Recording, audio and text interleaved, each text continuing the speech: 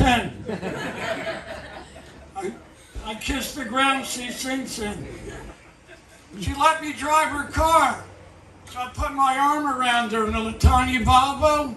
Said, oh, Pickle Man, you're feeling romantic tonight?